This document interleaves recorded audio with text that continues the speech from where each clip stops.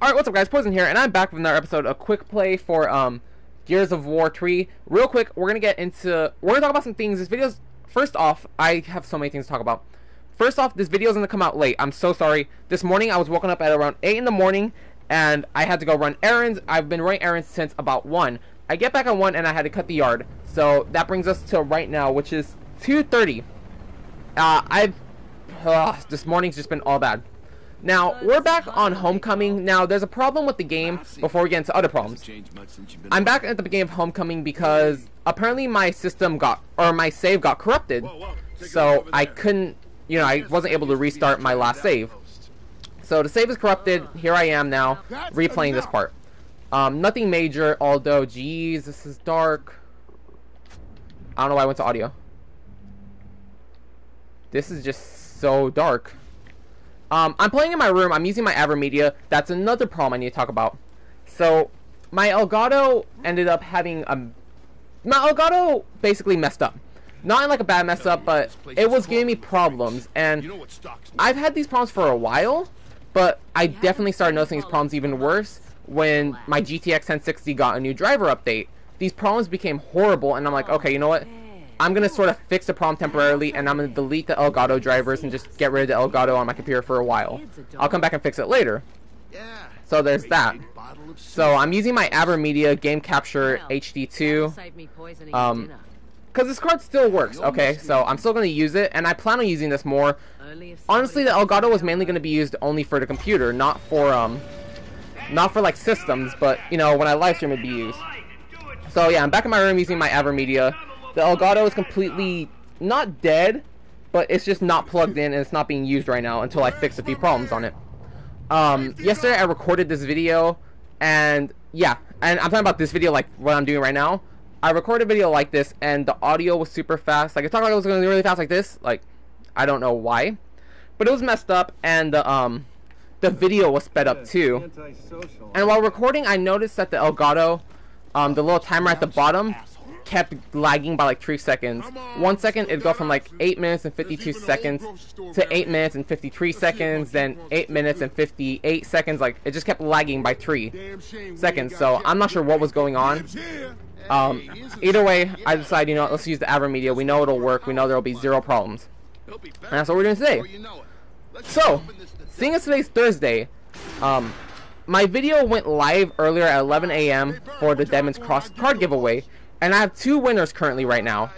The official winner, like the first person who commented, was actually Venom Gaming.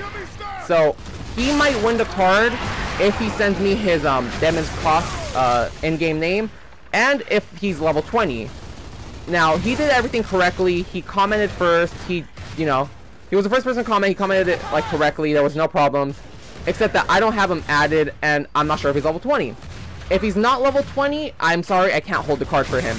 So Venom, if you're watching, send me your name as soon as possible, and I'll send the card over if you're appropriate level. But I have a second winner. I also have someone by the name of Captain Lumlums. Um, if Venom isn't a high enough level, then it's going to Captain Lumlums. So there's two winners, and nothing against Captain Lumlums, but I kind of hope Venom wins because he did everything correctly. So, you know, he was the first person to comment, he did everything right, so Hopefully he would win it, but if not, then Lum Lums wins it. So, yeah. And, you know, it's gonna sound kind of shitty, but there's a reason why I'm doing it this way. Why I'm not gonna save the card for someone till they're the appropriate level. Oh shit, what? In the past, I've been part of giveaways where people will choose a winner and they have to hold on to the giveaway until it's right for the winner. It's like, no. I'm not gonna hold anything for anyone, unfortunately, because I actually joined a giveaway this was a year ago actually, for um some e-juice, and this guy saved. I don't remember who it was. It was some like no-name YouTuber, someone in the same boat as me. You know, they're not popular, but they have a following somehow. And he was giving away uh bulk e-juice, like um. He had like a bunch of different e-juices he was giving away, and he saved it for someone who wasn't even 18 yet. And then I called him out, and he's like, "Well, look, he becomes 18 in a month. I'll hold it for him for a month. I'm like, no, you shouldn't be doing that anyways. He's a minor. He shouldn't even be in the giveaway. I don't know why you're saving this for him. But yeah, he saved it for him, and I guess the kid got it. I don't know. I stopped watching the dude. I'm like, whatever, dude. This is shitty. you shouldn't have given it to a minor. You know, a minor shouldn't have even entered, but you gave it to a minor and you waited a month till he was of age. It's like, no, dude. You know, that's BS. Us who are legally allowed to vape should be the winners, not him. And then I even told him, like, you know what, this sounds super fishy, that you know he becomes 18 in a month. It's like, seems kind of rigged if you ask me, you know? But it's like, that's kind of one reason why I don't want to wait. It's like, I'll just give it to someone who could use it right now. I'm not going to wait, you know, a while till someone's level 20. But, um, let's see what else they're talking about. Ah, I'm just very upset that the video from yesterday kind of didn't work. Because it was just it was a good video. Like, the audio was on point, and I had to go back to my old, like, $15 microphone. I'm not using my blue eyeball because the, um, AverMedia does, can't use USB. It's only straight microphone input.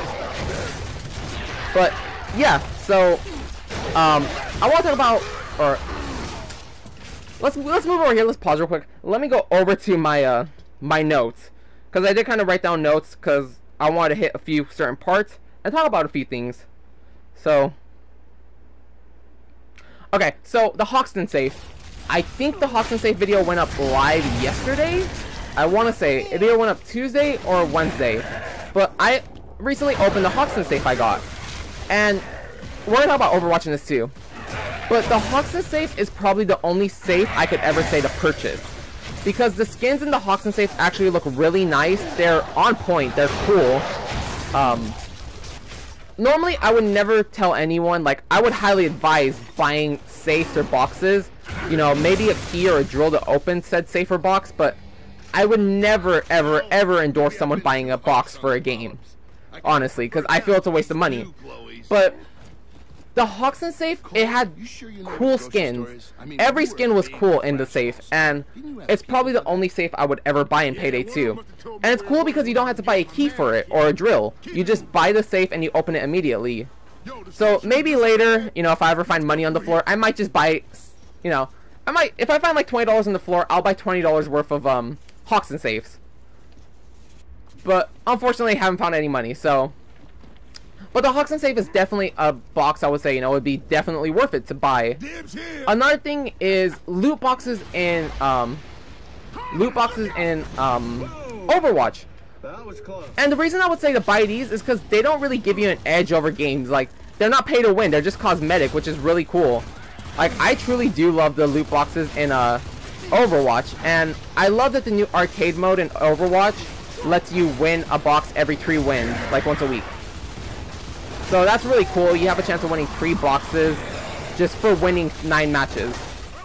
Which, you know, if you're running a, with a good team, winning nine matches is no problem. Or even if you want to run solo and play 1v1 in arcade mode, you could easily just own someone. Because I did it yesterday. I'm talking about like literally yesterday, as in Wednesday. I was playing Overwatch last night. And, um, yeah, I definitely just owned some people in the game. And, like, I got the easiest Widowmaker kill ever. Like, we started off as Widowmaker, and the dude was already zoomed in, like, with a scope. He was already scoped up, and I just come up on the platform, scope him, or scope him quickly, and just shoot him in the face and kill him instantly.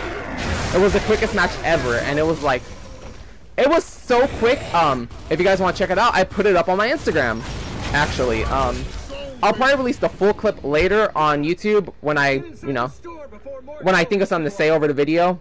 Because I'm not just going to upload the video if no, which is pure game audio. But on my Instagram, it's an 18 second clip. You could go check it out. Uh, my Instagram is going to be left in the description of this video. And it's also on my About page. So if you guys want to go check it out.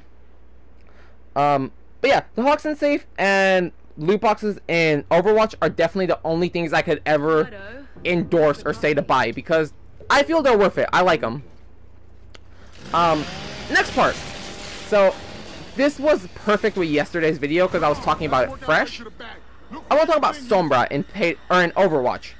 Now, Sombra is a lot of fun to play as. She's a new like, it's a new playstyle, and she's really good. I do enjoy her. I also love that she has stretched ears because that's like kind of cool, and she's a Hispanic character with stretched ears. Fucking hashtag waifu status immediately. But yeah, so um, Sombra's a lot of fun to play as. But honestly, she's a pain the fuck like I have another video actually where I was playing arcade 6v6 um no rules or whatever, and it was, our team was nothing but Sombras. It was six Sombras against like a freaking Junkrat, a Pharah, a Symmetra too, and it was just irritating. It's like, dude, we don't need these many Sombras. You know, we like we need like two of them maybe. There should only be allowed two of each character in a certain um, team. But, you know, arcade, 6v6, no rules. You could have as many heroes as you want in a team. And I was just irritated. I'm like, come on, dude. And we got our asses handed to us, honestly. And I even put in the chat, I'm like, yep, this is what happens when you have six Sombras. And then someone was like, well, you were Sombra too. I'm like, yeah, but actually, if you check my recording, which, you know, check up my name, I'll put the video up later. I'm probably not going to, but, um, I'm like, yeah, if you check out my video, I was actually the first person to be Sombra, not you guys. And I'm like, we could have rolled with uh, Mercy, and we could have probably won, because she could have revived us a lot. But no, everyone decided to be Sombra, and this leads me to my next part as to why I was playing a Sombra. The only reason I was Sombra is because I'm doing my play of the game thing, where I'm trying to get play of the game as every hero. And honestly, Sombra is a is really hard to get play of the game. Like I have I've been playing with Sombra since she came out since Tuesday. That's the only character I've been rocking. And play the game as her is not impossible, but it's just irritating.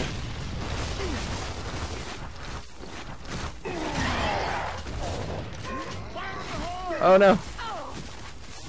Yeah, play, gameplay of the game as Sombra is so irritating because I just can't do it. I've been trying and trying and trying and I cannot get play of the game to save my life.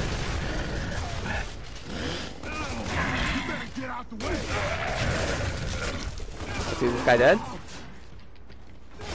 No, he's not.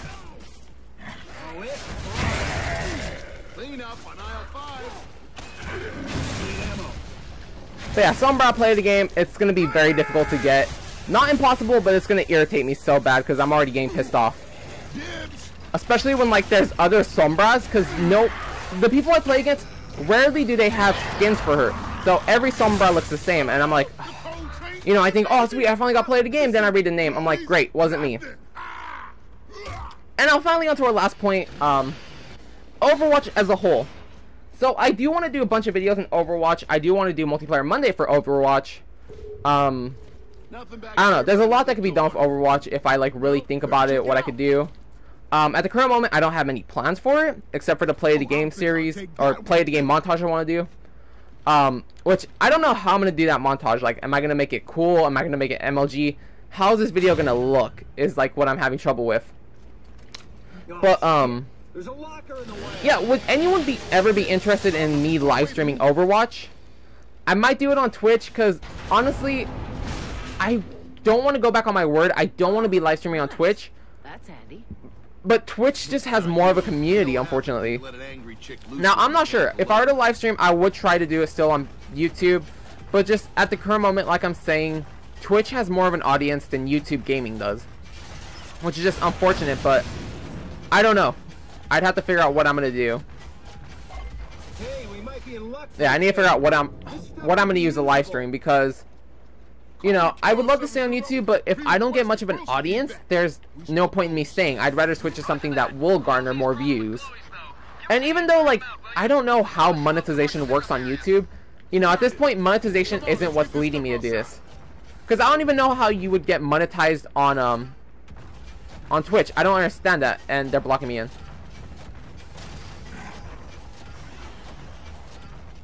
Yeah, like, money isn't drawing me towards any specific one, but I'm just saying, you know, since there's no money to be gained on either of them, there's nothing really leading me to one or another. It would just come down to personal choice, you know? Would I want to be on Twitch or would I want to be on YouTube?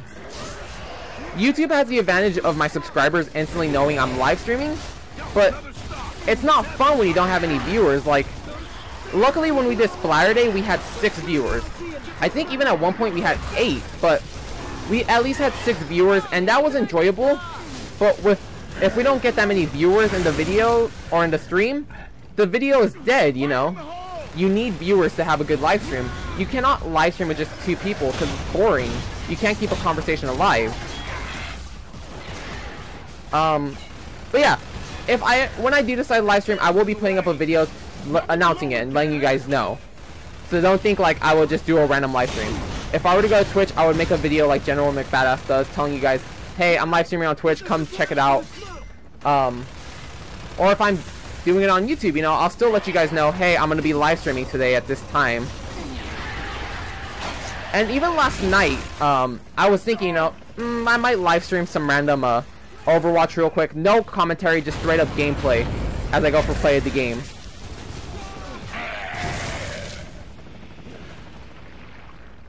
Oh, jeez. Lampet stock.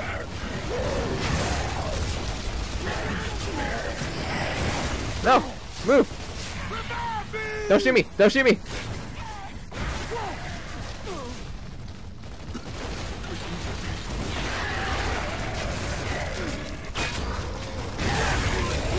I was so afraid some bad was gonna happen there.